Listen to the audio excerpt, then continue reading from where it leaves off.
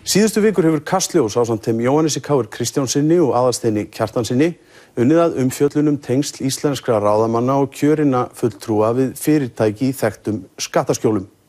Og þrátt fyrir hrun, rannsóknarskýslur, yfirlýsingar stjórnmálamanna um aukið gegnsægi, síðareglur og hagsmunaskráningu hafði engin af þessum íslensku stjórnmálamönnum gert ofinbeglega grein fyrir tengslum sínum við þau fyrir en spurst var fyrir um þau á síðustu vikum.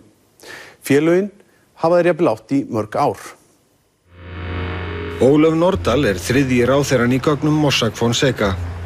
Ólöf hefur ítrekka staðhæft að hún hafi engin hlutabref átt í félaginu Dooley Securities sem landsbónkin í Luxemburg hafi komið á fót vegna kauprættar Tómasar Más eiginmannsennar þáerandi fórstjóra Alcoa á Íslandi.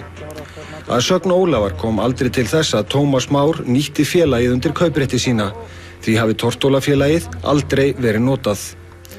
Að auki hafi ákverðunum stopnun félagsins Dúli verið tekinn 2006 eða áður en hún settist á þing.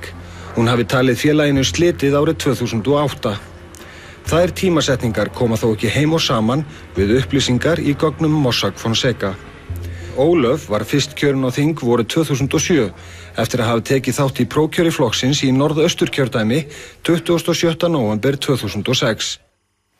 Í fyrsta til þriðja sæti hefur Ólaf Nordal hlotið 1426 atkvæði. Tveimur dögum síðar voru Ólöf og Tómas Már Sigursson eiginmaður hennar skráðir prókuruhafar félagsins Dooley Securities á Tortólu eins og þessi gogn sína.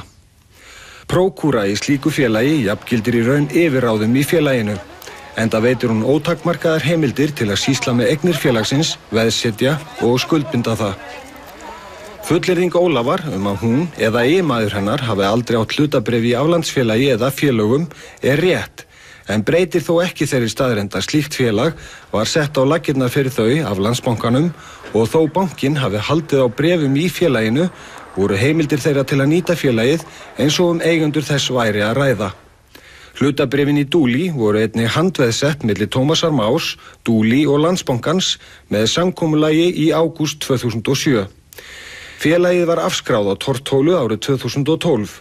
Ekki er að sjá í gögnum Mossack Fonseca að prókúra Ólafar eða Tómasar hafi verið afturkölluð fyrir þann tíma.